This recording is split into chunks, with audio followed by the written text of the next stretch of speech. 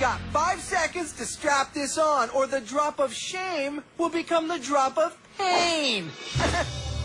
Yo, that's unbelievable. Some team. You guys are all a bunch of...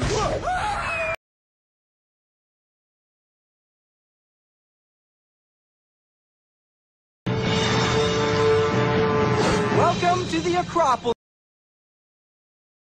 Many of the very first Olympians, who, as my intern has informed me, competed naked. All right, time to drop the laundry. No, no, no, that was just a quirky fact, not an order. There's no need to be 100% accurate. Redressed. We only have to resort to nudity if there's a tiebreaker.